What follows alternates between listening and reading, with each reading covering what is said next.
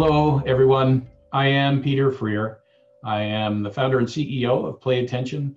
I have a master's in education, veteran educator of over 16 years. So, uh, welcome to the webinar, uh, Making Teaching Fun and Wonderful. So, as we proceed through uh, this today, our agenda will be survey info. I have really interesting information that you may or may not have read regarding our lives and getting back to normal. It'll help us understand where we are and how where we're going. We'll work on uh, dispelling a myth uh, that has been uh, posited to us. I don't know for how many years now. Uh, we'll discuss the aims of education. Important to understand why we're even doing this. Why do we educate uh, kids other than to keep them out of our hair for the first 18 years?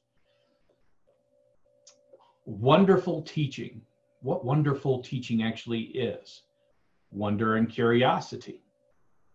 Usable concepts for you to take with you today. A summary, and then we'll do upcoming events as well. So the first part of this is talking about the survey that we have. Let me move my picture so you can read all of this. All right. These are things, ADDitude Magazine, great magazine if you don't get it. You can subscribe to it. I have nothing to do with ADDitude other than we advertise in there. But uh, they are a fantastic magazine as far as their uh, content is concerned, uh, their ability to set up webinars uh, with uh, experts in this field. Uh, they're, it's a great publication. So they did a survey and uh, more than 3,000 and uh, their pandemic survey. So many of you here may actually uh, feel the same way. When they asked, they said, uh, they have put us in an impossible situation, which means as an adult, I have to work at home, right? I have to uh, not only work, but I also have to be the uh, police at home. I have to be the guidance counselor. I have to be the uh, uh, teacher as well. So I feel like I'm being forced to choose between my child's mental health and his physical health. There is no good option. Do we send them back? Do we know what the schools are going to do? When we look at most of those information, this is what people told ADDitude. 71% of, of the people surveyed said that you are feeling anxious or worried, right? And you can put your hand up here, uh, and let me just make certain my chat is open so I can see. Um, you can uh, put your hand up here if you feel that way. You can raise your hand and say, that's me.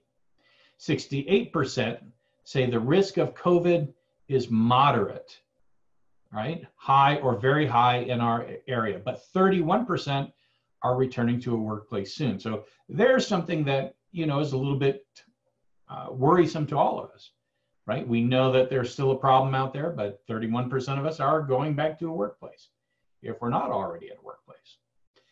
61% of your schools have not announced a solid plan for the fall. That's probably changed since they've done the survey. Is there anyone here who um, feels that they know exactly what's going on, you, you raise your hand if you if you know exactly what's going on and what you're going to do at this point. A few of you are raising your hands for that. How many of you say I still really don't have any clue what's you know uh, I have a little bit of an idea what I'm going to do. Anyone here for that? All right, so we're about 50-50 on that. Wow, okay. Um, and this one is very interesting. And though remote learning was a disaster for the majority of ADDitude families, 43% will be facing it again this fall. How many people here felt that uh, remote learning, doing it as the schools were forced to do it last minute, trying to get this curriculum over a computer screen, how many people felt that that was a disaster for you that are here? Yeah. Wow. Okay. Well, that is a great majority of the folks here. That's interesting because it is difficult to understand, you know, um, how we're all going to do this. And I really want to dispel a myth now. we need to disabuse ourselves from the notion that computers are teachers. Do you remember years ago? Oh, it's probably 10 years ago. Uh, people were told computers are going to replace teachers. Don't need them. Don't need teachers. We'll just put computers in the classroom. The teacher just walks around and monitors the kids. How many people heard that? Raise your hand if you heard that. I heard it. I thought for a while I would be replaced while I was in the classroom. That we don't really need teachers any longer. We just need computers. Well, that's a myth, isn't it? Because there's something about teaching, excuse me, something about teaching that has to do with the contact, right? With the ability to uh, get a message across and the personal communication. Now, even if teachers are trying to communicate across a computer, as I'm doing with you now, obviously it is not the same as if we were in the same room together and talking, because there is a great amount of meaning that is shared or conveyed between us when we're face to face. That's why in business, if we have business meetings, typically in the old days before the virus, we would have face to face meetings. They, if I were uh, doing business with uh, California, they uh, demand that I fly out to Silicon Valley because there is something to face to face, and teaching is exactly the same way. So computers, even though the schools are forced now to try to convey lessons over this medium, it's not the same. And I'm certain you, the vast majority of you, are aware of it. They are a tool, but they aren't teachers. And for a long time, they won't be. The why, again, is because there is personal meaning in having the contact uh, with another human being, a teacher.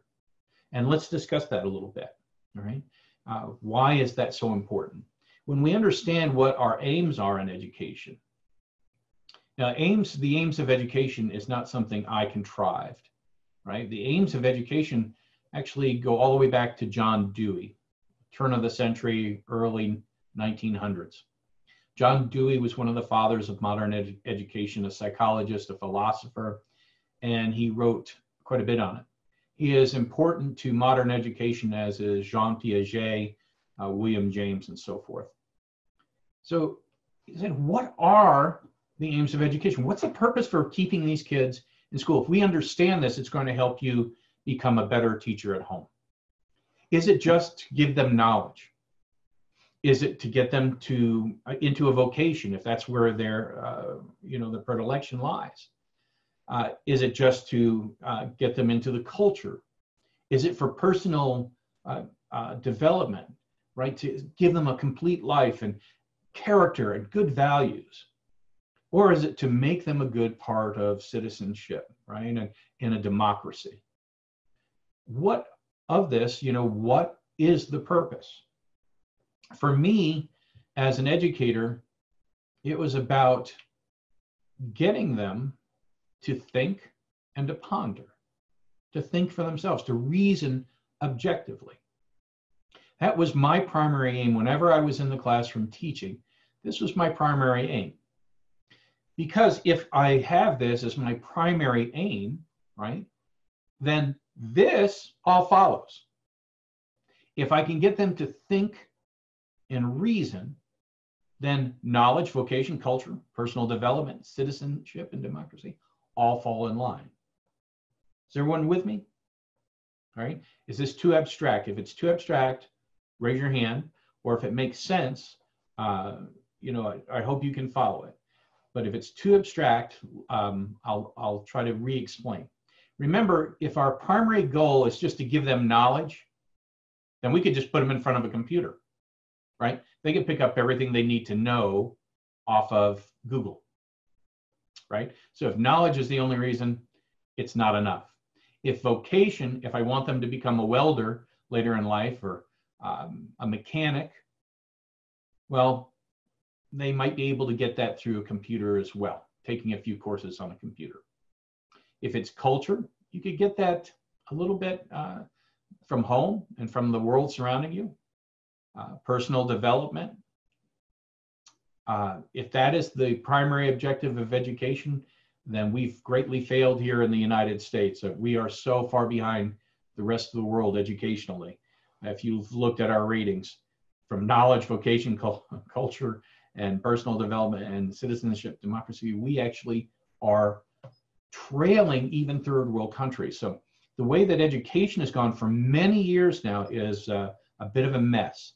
And I haven't seen it improve at all really over the last uh, oh, 10, 20 years. It's, it's uh, a little bit, uh, and I'm certain you're aware, it's very, very difficult. Education in the States is, is uh, fairly, um, fairly poor at this time. Uh, I'll tell you what happened to me. I'll share this briefly so we can get right into the, uh, the webinar a little bit. When I was teaching, uh, my first year, I just could not do what they were asking, the principal was asking me to do. Basically, uh, I was in rural Western North Carolina, and uh, the principal was asking me essentially that we use the textbook, uh, we go through the textbook, they answer the questions at the end of the textbook, they sit in chairs all day long, and they take the end of grade test, and that was it. And for me, I couldn't, I couldn't bear it. It was torture, and if it if it was torture for me then, I know it was torture for the students. So when my students came to my class, I changed everything. I began to work without the textbook. I had them come to work so that there was meaning to coming to school other than to write things on a piece of paper and throw them out when they got done with them. They had a job. We had a newspaper. We had uh, magazine um, publishing. We had video studio, a television studio. We had a NASA-like project, and I'll go through some of these with you. Uh, in the uh, classroom. We had our own government in the classroom. We had our own money in the classroom and so much more. We even got peer evaluations. Even I, as the teacher, got a peer evaluation from the students. And then we also studied uh, values, how we actually make good uh, decisions, pros and cons, weighing the pros against the cons. It became so successful, it alarmed the uh, principal. So he called me into his office and he had the assistant principal next to me. And uh, he said to me, his first words to me were, I know you're not going to hit me, but I just thought I'd have Mr. Uh, Henke here with you to uh, make certain we were, you know, gentlemen. And so I knew it wasn't going to be good for me. And uh, he said, so I need you to resign. I need you to resign, take a job over at Scotts Creek Elementary. And I said, I'm not resigning. He said, well, you're not following the curriculum. And I said, yes, I am following the curriculum. I'm doing exactly what I'm supposed to do under North Carolina mandates. He says, you're not using the textbook. The other teachers have reported to me you're not using the textbook. I said, no, we're not using the textbook.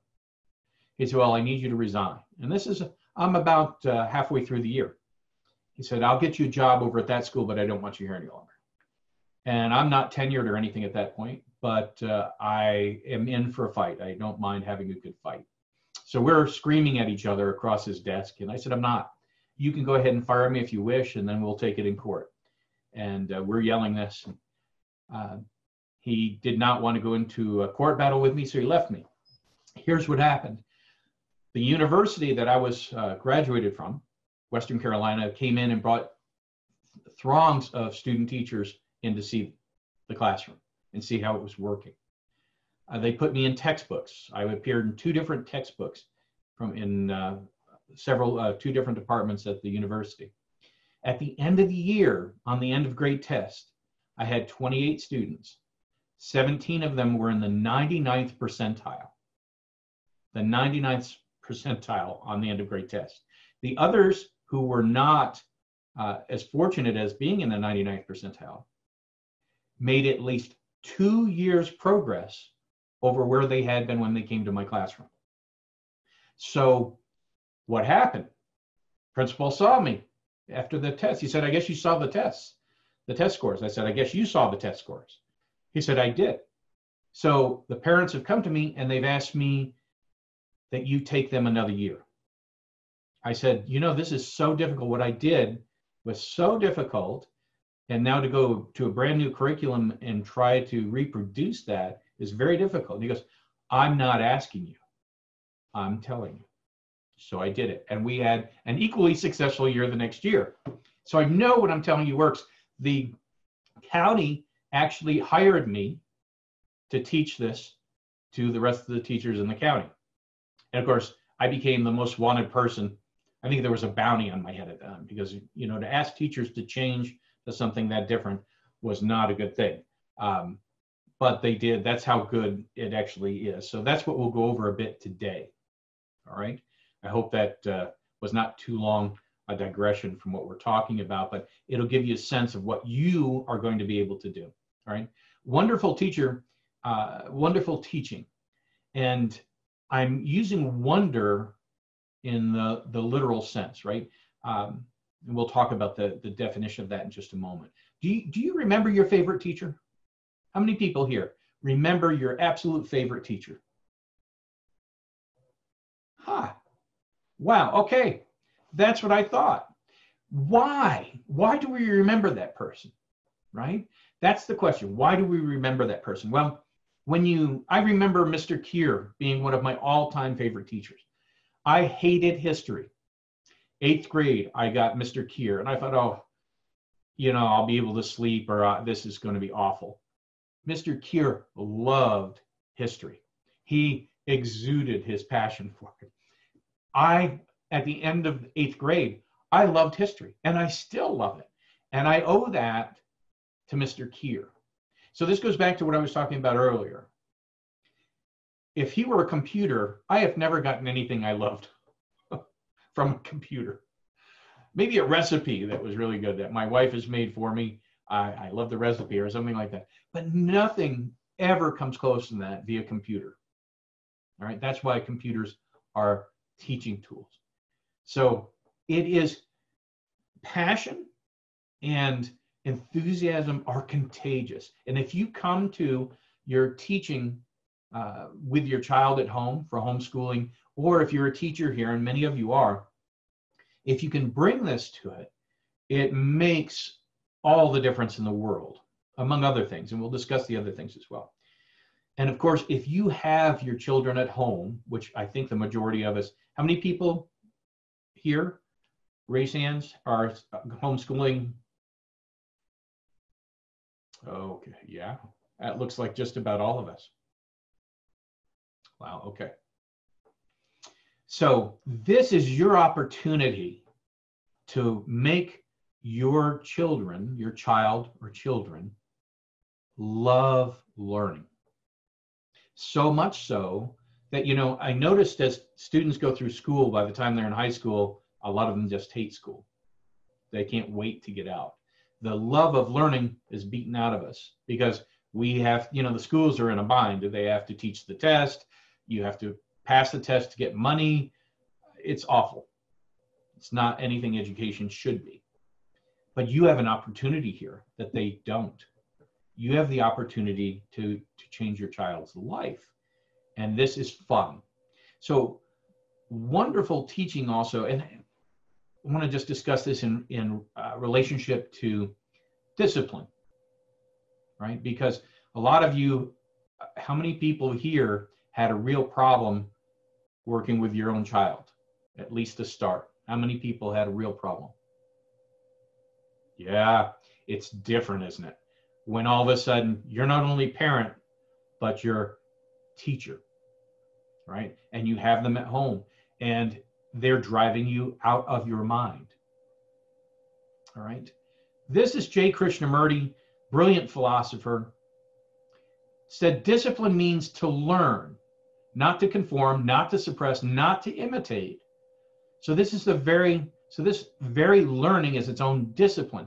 So he related the word discipline to the word disciple. And it is highly related. The word discipline, the root of it is disciple someone who studies, someone who follows and studies, a disciple. So if we can get them to where they are learning and they are engaged, we don't worry about discipline. The craziness, the amount of uh, angst, the amount of um, negative energy between the two of you will dissipate. But this is key. All right. All of these things will come in, and it's like uh, a building a house. Each piece, one, you build a solid foundation, you build the rest of your house. So remember, discipline becomes minor when you get them engaged and you get them to be part of this. So, wonder is the rapt attention or astonishment at something awesomely mysterious or new to one's experience, causing curiosity. All right. So, rapt attention or astonishment at something awesomely mysterious or new to one's experience, causing curiosity. Now, one of the things that computers do and that TV does is they pretty much squash mystery. Right? If you watch TV, then they explain everything. Nothing mysterious about it, as if we know everything. The awesomeness of things is usually just squashed because they have to, you know, fill the time. One of the, uh, I think one of the things that you can, uh, or or actual shows that are is on TV that is most popular is Shark Week. Is everyone here familiar with Shark Week, or some of you familiar with Shark Week on Discovery? All right, a few of us are, are familiar with Shark Week. Okay. Sharks are awesome and they are incredibly powerful and they are mysterious because we never see them until it's too late. And they dwell in places we don't dwell there's a lot of mystery and we still don't know everything about great white sharks we don't know everything about sharks period so when when shark week ha- happens we all tune in because we want to be part of that wonder. We want to see it. And they explain a lot to us but then they are honest with us and say there's a lot we just don't know. All right? That's what you must do. This is wonder. When I talk about wonderful teaching, I'm not just saying, "Oh, you're going to be wonderful as a teacher." I'm going I'm I'm asking you when you create a plan that you put wonder into it, mystery into it, engagement into it that just brings out their curiosity because when you bring out their curiosity, you tend to have great discipline, you have them engaged, they want to learn. They'll pick up things so quickly that you never imagined. And these are the keys to doing it. Fun is what provides amusement or enjoyment. All right. We can mesh these two. We can mesh both wonder and fun just to have a great time. Because if you're having a great time, they'll be having a great time. Right if you're in a fight, they're the other half of the fight, and we just don't want that. No learning takes place, just conflict. So we do want to make certain that we provide wonder, we provide curiosity, and we make this fun. So here's what you as the teachers will contribute. And if you are unaware of any of this, um, we can, you know, this, what I'm doing today, probably should take about three days. So we're condensing it. So if I haven't covered everything you want to know, or maybe we just need to chat again, maybe we'll do another one of these and we can all share our ideas because I bet you some of you out there have some ideas that are absolutely fantastic and we could share them as a community. I'd be delighted to do that. We'll bring that up at the end as well. Here's what you as teacher will contribute, right? you have to have a depth and breadth of knowledge. If you're not familiar with the curriculum that you're helping, you're assisting with, you really need to study up on it. Take some time in the evening and study up on it. The more that you understand, and this is one of the mistakes we make in education, we separate math from science, science from history, history from civics. We just separate everything. And then it happens even even worse at university. Everybody comes out as a specialist in something. We don't have a depth and breadth of knowledge of much of anything anymore, but we're specialists in a certain area, which is a huge mistake because math is greatly related to science Science is greatly related to history. History is greatly related to government. It's all related. Yet we break them apart as if they're entirely separate. When and when your kids try to apply things and they think, well, why am I doing this? Right? How many times have you again, hands up. How many times have your children looked at you? Why am I learning this? Why? I don't get it. Why am I learning this stuff? I'm never going to use it. Anyone here heard that? That's because we're not giving them context. We just throw it at them. It's like kind of like when you make spaghetti. if it's ready, we throw it against the wall, and if it sticks, it's good. But that's not the way to teach. That's the worst way to teach because if they don't have context, they don't understand, they don't like to learn that way. They don't like that because they ask you, why am I doing this? It's a waste of time. I'm bored, right? If it's in context and you can bring it into context, which is one of our goals today, then you'll see how we can make this all make sense. Have a good time, provide wonder, get excitement going, get enthusiasm going, and you become a great teacher and someone that your child not only looks to as a parent, but understands that you are a teacher because all of us here, all of us here are teachers and we have a great teacher inside. We just have to pull it out, figure out how to do that. And that's what we're going to do today. So you have to have the depth and breadth. Study a little bit. If you're not aware of the material you're going to have to present, study it. Study it in context, not just math, but where does this math fit in history? Where did it come from? How's it used? Where do they apply it?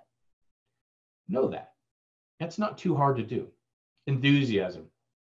If you can't tell that I love talking to you today, then you I, I have missed my goal because this is near and dear to my heart. I have taught uh, in I have taught in public education. I have taught uh, police defensive tactics. I've taught martial arts.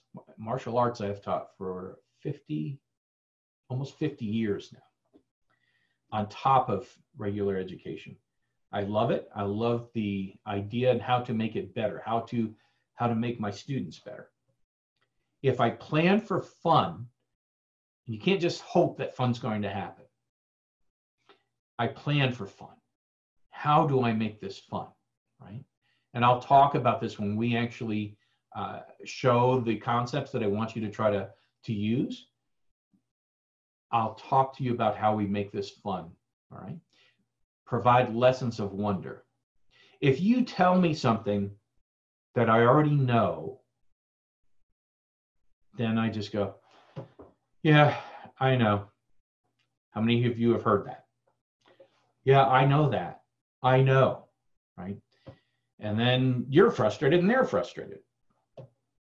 What if we take them to the edge? We know what they already know, and this is important. I understand them as a human being, I understand my student as a person individually. So I take them to the edge of what they do and do not know. And they're at the edge of what they do and do not know. What lies out there? Can anyone tell me? It's mystery. If I take them to the edge of what they do know, but also what they don't know, that's mystery. And that's what keeps them engaged. All right, so that's how we provide lessons of wonder.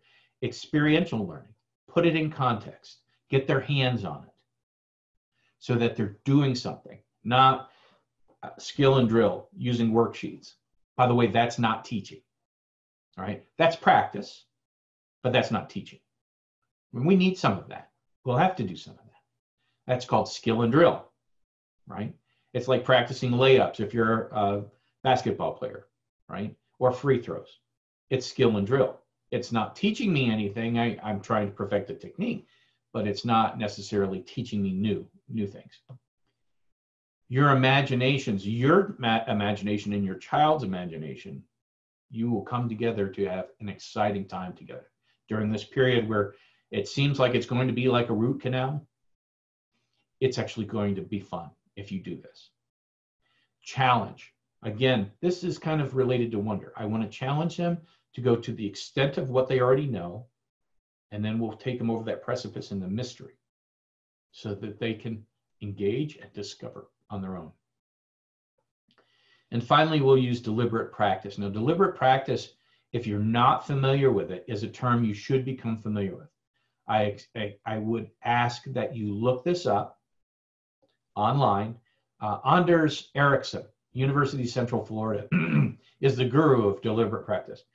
He spent years trying to decode how people get to be really good at what they do. He looked at uh, everything from figure skaters Olympic figure skaters to professionals to athletes, other athletes. Um, and what he found was is that if we do the same thing over and over again, it doesn't make us any better. And that's typically what people do. I'll do something that I do pretty well and I'll practice it. If any of you are in martial arts or tennis or golf, I often see it in golfers. Golfers will go out and they'll hit a bucket bucket of balls and they come back in and they play a round after that. They try to play nine holes. They go, I still am awful. My shot stinks. I don't know why. I hit the bucket of balls. Well, if you hit the bucket of balls the same way you've been hitting a bucket of balls for the last 10 years and you expect something new to happen, not going to happen.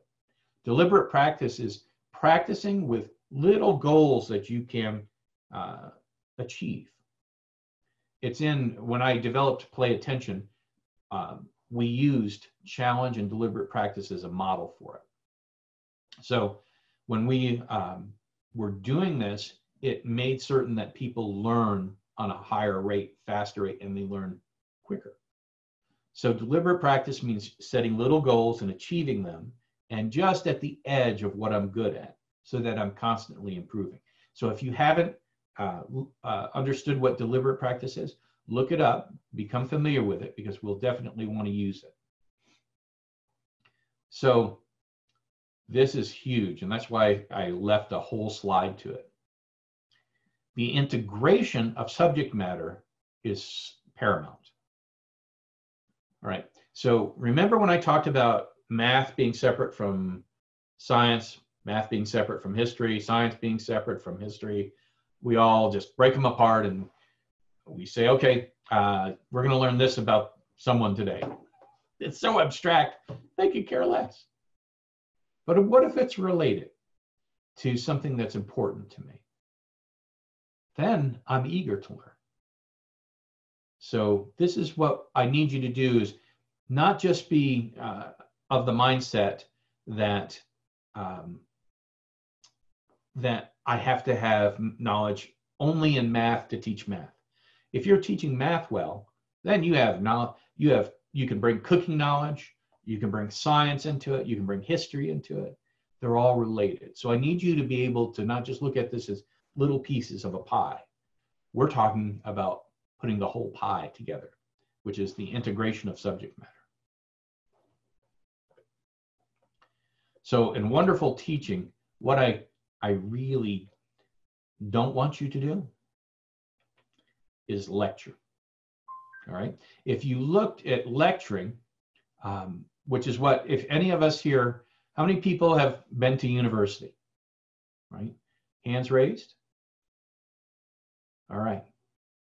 So, how did they teach at university? Most of the time, you get a lecture. You don't even get a PowerPoint. You get a lecture.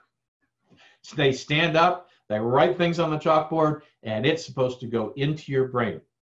So lecturing, this is what they did to me at university as an educator, for the most part. I got lectured to, and it was awful. Lecturing is the least effective method of teaching. Yet at university, universities oftentimes don't have really good teachers. They have smart people who are professors, but they don't know how to teach. That's a problem. So what they what do they do? Well, they do what they were taught. Their professors lecture to them, so they lecture and they write. Don't do it. It just is terrible. So you will find that you end up in a fight. You end up, especially if you're dealing with younger children, by high school, a lot of the kids are used to like getting lectures, but it is the worst way of teaching. So if you're giving a lecture, it is scraping the bottom of the barrel for method. Don't do it. Don't use skill and drill as a teaching tool. All right. Remember, skill and drill is practice. It is not teaching. Teaching teaches them how to do what they're going to do in the drill and skill. But drill drill and skill is not a teaching, is not teaching someone. It is practicing. And practicing is a little bit different. All right. So let's make certain that we are aware uh, that we will use it. We have to use it because skill and drill is necessary, not a great deal of fun. But if you've gotten the other half of enthusiasm, of wonderful teaching, then they'll do this and they'll do it quickly and effectively. But don't use it as a teaching. It's it is not teaching. Don't put the paper in front of them and say, go at it. They're not going to learn it. And they'll end up hating it. And they may despise you. And you may have found that out already. Don't read the book and answer the questions and think that that's teaching. It's not. Again, it's more practice and what we call reinforcement. All right, skill and drill and reading the book and answering the questions are reinforcers. But in order for it to have meaning, I have to get them to the point where it has context, it has meaning. You're not doing it just because I'm the teacher, I said you'll do this. Well, how much did you learn when someone told you that? If you did, you learned it for a day or two, you and then it just went out of your mind The test time came and you were probably struggling, right? Don't think that you're limited to a textbook because you're not. You have the whole world as your oyster. You have the whole world that you can use as a teaching aid. Everything around you. Grab it and use it as a teaching aid. Okay, this is super important as well. Get my picture off of this what you as teachers should know. All right. How do most students learn best? And particularly if you're teaching at home, you need to know this. You may, you perhaps you already know it. Is your student, your child, you know, and you may have several. Let's say you've got Billy, Jenna, and uh, Alice. Is Billy an auditory learner? Does he learn because you say something and he is good to go and understands these directions and can do it? Picks it up through his ear. Is Jenna a visual learner? Does she have to see you do something so that she can do it? I'm very visual. If I see you do it and I see it two or three times, oftentimes I can learn it. And in martial arts, that was super important is Alice an experiential learner? Is she can does she have to have her hands on it, get involved, make something? Is like our, our young lady right here. Is she a reading, writing expert? Loves to read, loves to write. Is that her her strong suit? Is that her forte? And then are any of your children combinations of these? Do they do well with uh, experiential and auditory and visual. So know what this is, right? Just watch them. The best way to learn it about your child is to watch. How many of you ever have ever taken that time to understand what type of learner your child is? All right. Okay, great. Some of us have actually taken the time to learn it. So you know how what they like. So what we're going to do is offer them all of this so that they have their hands on it, so that they have a highly auditory experience, a highly visual experience, something that's going to ask them to read and write and be very, very experiential. And we'll combine it because we know when we do that, we hit everything. All right, so now let's talk about wonderful teaching concepts. These are things for you to use. So remember I told you about my classroom being a place where the kids actually came in uh, and then we simply went to work, right? I took a lunch count to notify the cafeteria of what were, you know, how many students would be buying lunch, um, head count uh, for absenteeism. Then the rest of the time they went to work. They went to the newsroom. They went to the movie studio. We had crime scene investigation. We had Raiders of the Lost Ark, which was really my archaeology team. And we had a NASA division, among other things, in the classroom. So everyone had a job. All right. There was nothing about a textbook. If they needed the textbook, the textbook was there as well as the library. And of course, at that time, we were using Mac 2Es. I don't know if you are old enough to remember those. I am older uh, than probably most everyone here. And a Mac 2E was an uh, uh, Macintosh 2E was a terrible little computer that you used to stick those little floppy disks in. You could play uh, Oregon Trail, which was really a funny video game in those days. You know, I always ended up dead on the Oregon Trail. All right, so we had those, but I had to make it uh, creative and fun. So let's see what we did in the newsroom, right? For wonderful teaching. We create a real newsroom. You can do this right at home. Look at how to create the set. Just creating the set is a lesson in itself. Let's say that we're creating the set so that we have maybe this great uh, logo in the back because we can now broadcast our news. We can broadcast our news over Zoom for free to grandma and grandpa, to our friends. This is news that we've collected. Could be news in the neighborhood, could be news about what's happening in your home. It could be news from anywhere in the planet that we've gotten off the web, off of TV. And we create this model like this, our, our backdrop, breaking the news.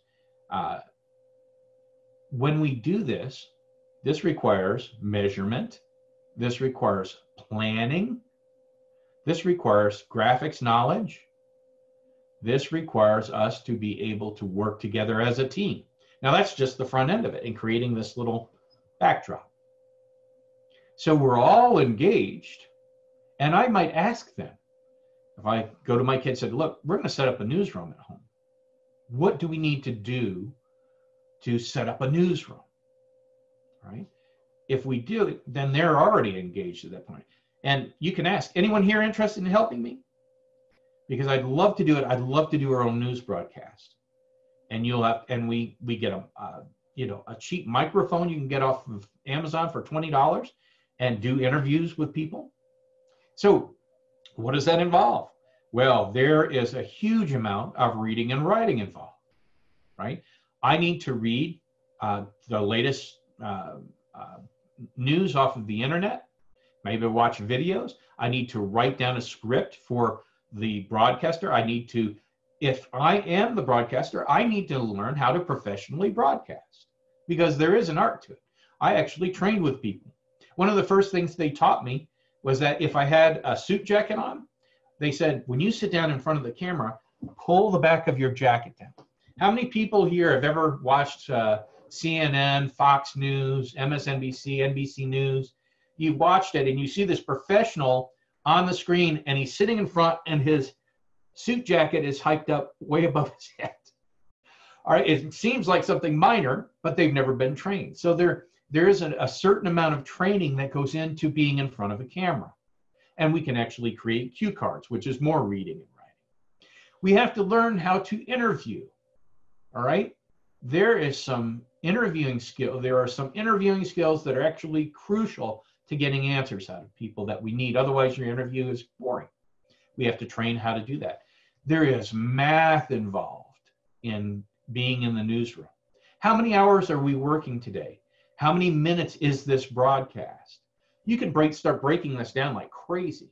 How many minutes, how many seconds, how many tenths of seconds are we doing this segment so that we can fit this all into a time frame. We're not going to have a newscast that takes three hours. We're going to put it into this time frame. So there's math involved. You can make math lessons out of this to know it, but it's all part of the newsroom. Is there science involved? Is there history involved? If a person has a story, then typically math, science, and history are all in there somewhere, right? If someone is telling you that uh, they uh, know someone that actually uh, just came back from uh, a hot spot. They they traveled up from Florida, And uh, well, what's the history behind that? What is the history?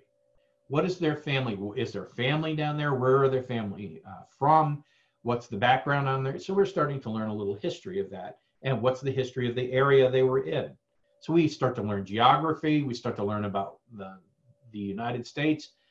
And this is just something I'm uh, coming up with in a minor sense. You could, you know, if you have family that is finally allowed to travel and they want to talk about, and you interview them over Zoom, and they're from uh, South America, they're from Europe, they're from Africa, they're from Asia, they're from Australia.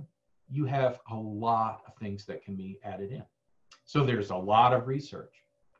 The challenge for you to challenge them is to take them to the limits of what they already know and bring them a little step further. Because remember, if I challenge them,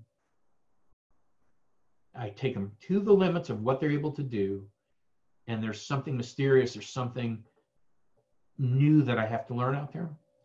That's wonder. That's where you engage them. That's where you pull this all together. So you have to study up. If you're doing a TV newsroom, you should study up on this, know your plan, devise a plan, put it together, and see how the math, science, and history that they're responsible for under the curriculum that's been advanced to them. This is how we actually learn how to uh, do it together and how to integrate the curriculum. So far, making sense. At the end of this, I'm going to uh, take questions from you in the chat section.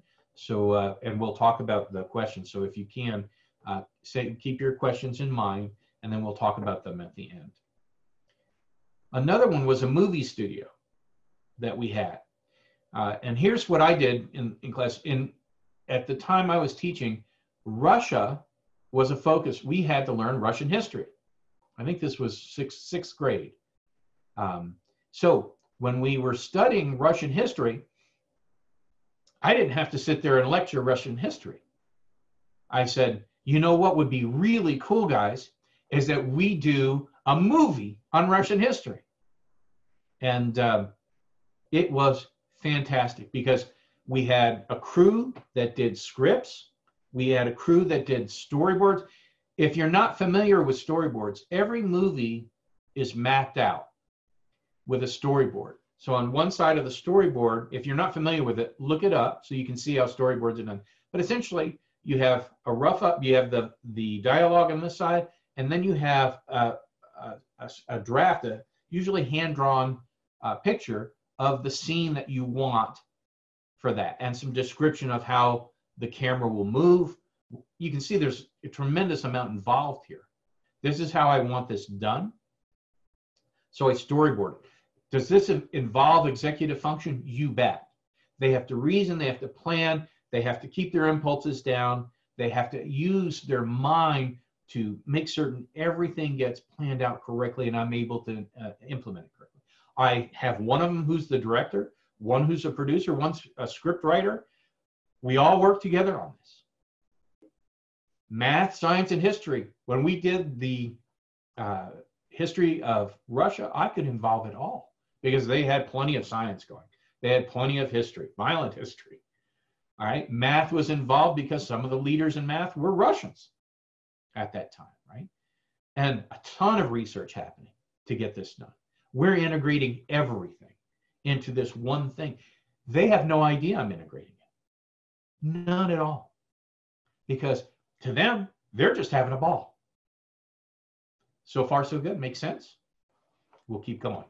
Another one, crime scene investigation. All right.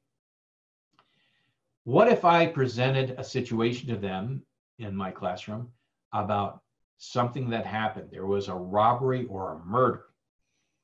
All right. And the, the murder is kind of like, uh, oh, what's that game? Clue, right?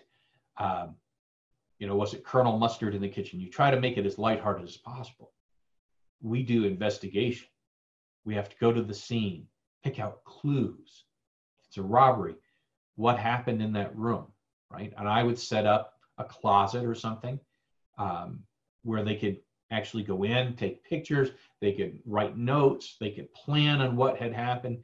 There's math because they have to measure all kinds of distances where I would put fake bullet holes in the wall. So there's math involved in measurement and fractions and decimals. Um, in science, obviously, crime scene investigation. How do we use science to figure these things out? And we would share with each other ideas so that we could use science to how, you know, I taught them how to take fingerprints using uh, a little bit of uh, toner powder that came out of an old uh, discarded toner and some scotch tape. So I showed them how to take fingerprints, which is for them huge. For me, it was easy, but to integrate all of this was a fantastic lesson. And this these lessons can take as long as you want them to take because you can add to them, right? You can you can keep augmenting them a little bit. Research and challenge in here. Raiders of the Lost Ark, my archaeologists. I would go outside and I would find some old stuff in the basement or the attic and I'd bury it. And then I would give them some history on some of the people that I that these things might have come from, and then we would try to discern uh, what period of time, where they could have come from on the globe, um, using math, science, history, research. Uh, the actual getting outside and digging in the dirt was a blast.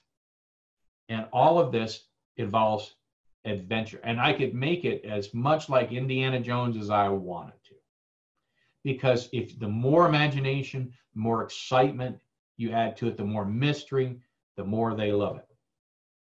The last one here was NASA. So we actually made rockets.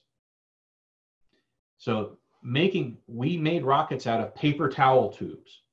And we and I bought engines for them. The engines are, you know, they're relatively inexpensive and a launch pad and we set these things off. And we had people, and we used instruments we made in the classroom to measure how high they went. All right, so there's math, planning, science, research. We got to discuss black holes, our galaxy, our solar system, universe. So teaching the solar system was part of that. And so instead of me just saying, well, uh, you know, here are planets and this is the sun, and you know, that's I had them move the movie team develop a movie for it. And so you could go into this huge box in the classroom, two of us at a time, and we could watch the movie and take a journey through space that the movie crew presented. And the whole, all of it was researched, written by everyone contributing. All right. And then shooting off rockets, going outside and shooting off rockets was a major event most of the school came out to watch. The local newspaper always came to film it because the kids made them. We'd even use pieces of garbage bag cut up and they would pop out a chute at the end and the rocket would come down safely. Now, if you don't think we had a blast in doing all of these things and they were learning, obviously, when my kids come out at the end of the school year, we didn't use much of the textbook unless it was research and we needed it and they came out in the 90, 17 out of 28, 99th percentile. The remainder, over two years of progress within that year from where they came in, two years jump. So if they were at a fourth grade level when they came to me in sixth grade, they were graduated at sixth grade level, which was a quantum leap for those kids that did not make it to the 99th percentile. I hope you see the value in doing this. Summary. Remember your favorite teacher because if he or she put their heart into teaching and made it fun and challenged me, took me to my limits, and then pushed me over the edge into that mystery and wonder category, they remained in my heart. The primary aim of education is to teach them how to think and reason. Because if we teach them how to think and reason, then learning about uh, culture, uh, learning how to be a good citizen, about values, about vocation, and about knowledge. It's all in there. But in order to do that, I have to be able to think and reason. That's got to be a primary aim. Learning and discipline are highly related. Imagine if when you're getting your classroom together, imagine that they are engaged. And if they are engaged, I don't worry about people getting angry. We may get into an occasional fuss and a disagreement, but then we learn how to reason that out and settle it. But it's not, they're not fighting with me over learning. They're having a blast learning. Make sense? Lecturing is the least effective method. I've tried to lecture as little as possible, but just explain uh, what I had done so that you have a story. We love, human beings love stories. Our brain acts as a storyteller. Most of the memories that we have, our long, longer memories, are not very accurate. They are recycled in our memory system over and over, so they're not very accurate. Um, this is because the memories are, sto- are stored as pictures and stories. They're stored main, uh, as pictures, and we tell stories about them. Right? But lecture, lecturing is basically the least effective method. Try not to do it. Remember, drill and skill, we got to do. We got to practice, but it's not teaching. It's just reinforcement. Your imagination is the key. The more imaginative, imaginative you are, the more fun they're going to have. You engage them to help you to do this, and they're part of it. You're going to have a blast. I can guarantee you, you will have fun. Set your stage. Start planning and set the stage to make this happen. It's not going to happen spontaneously. Set the stage to make it happen. And integrate your subject matter. Don't let them know. Don't have to know. Just say, well, here's, I need this measured. And if this happens this way, how much is that going to cost us? And then you're tying in math and make, you can tie that in in many, many different ways. All right. Uh, of course, we're going to just briefly talk about play attention here. Play, remember, play attention uses all of these things. That's why we developed it because it's a superior way to turn uh, to teach. Uh, upcoming events. Monday mornings at 11 a.m., Facebook and Zoom live coffee break to discuss homeschooling topics. Matter of fact, I'll ask Gwen, who does those, to talk about what we talked about today. All right, so that she can help reinforce for you um, what we had talked about uh, next Thursday, there's a Play Attention webinar on Neuroplasticity 101. That's next Thursday. Uh, in September, we have Executive Function 101 courses uh, and activities to enhance your school year. You can sign up for those, I believe, on the Play Attention webs website. If you need to talk about your child and if your child is ADHD, autism, um, and so forth, you know, problems with uh, learning and executive function, get a free consultation. Excuse me, my throat is getting dry from yakking so much. Um, get a free consultation so they can help you and guide you through. That's their 800 number right there.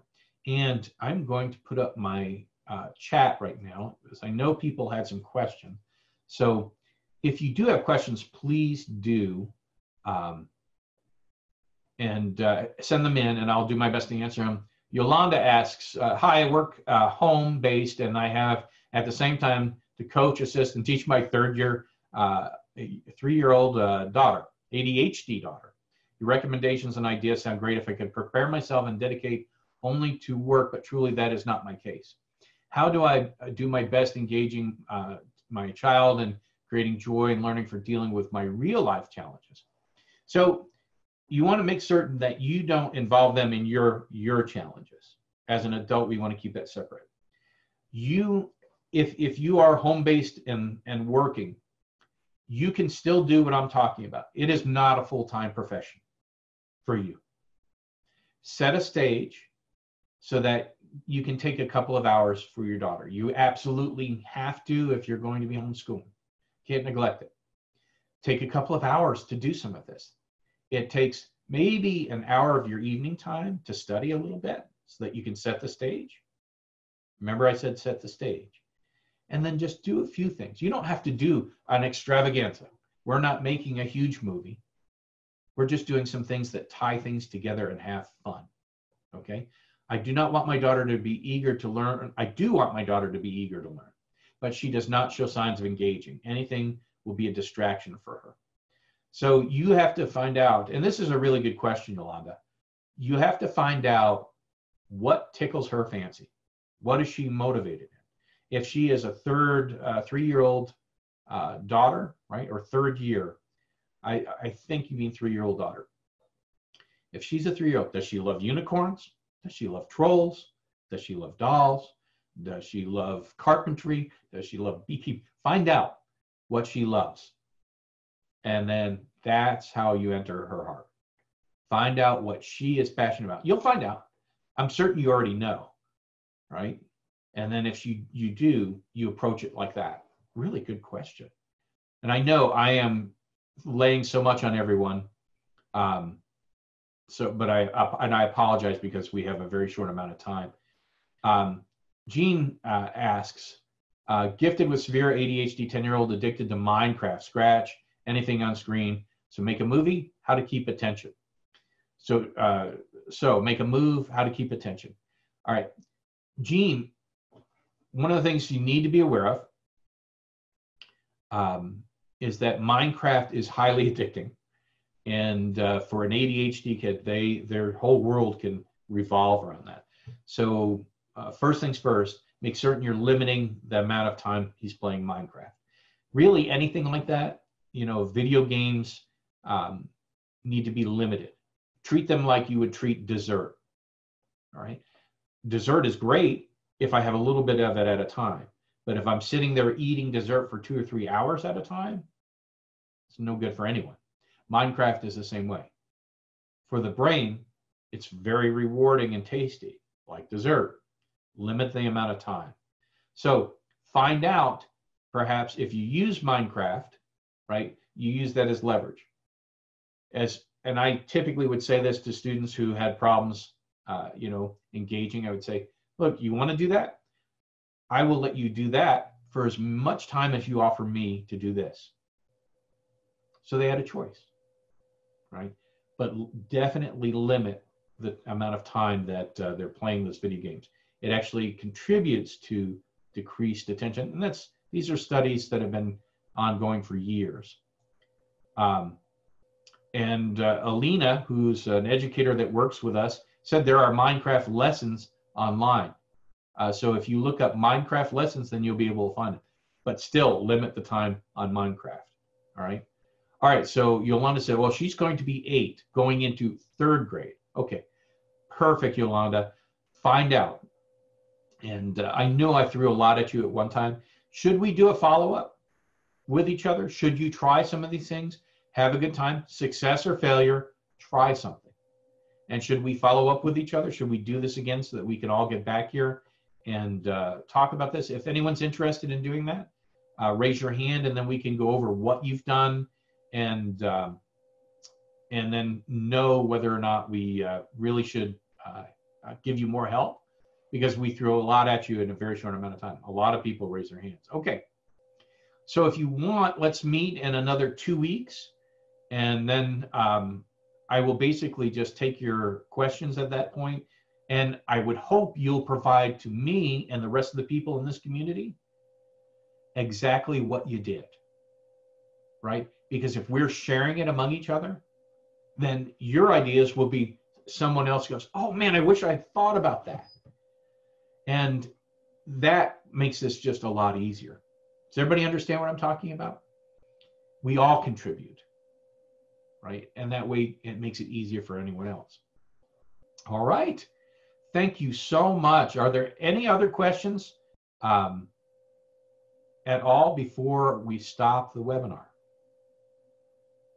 All right. I'm assuming that's a no. I just wanted to thank you so much for joining me and I really appreciate it. And I hope that you can try some of these things to make your teaching wonderful and fun. I'm Peter Freer. We will see you again in two weeks. Take care.